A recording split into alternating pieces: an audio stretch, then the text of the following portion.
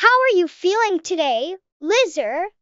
I feel happy because I played with my friends. How about you? Me too. Can you count to ten? Yes, I can. One, two, three. Can you count two? What game do you want to play today? I want to play hide and seek. Do you like that game? Yes, I like. What do you like to do at the park? I like to swing and play on the slide. What's your favorite fruit?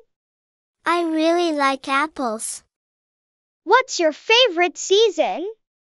I like summer because I can go to the beach. What do you want to be when you grow up? I want to be a firefighter.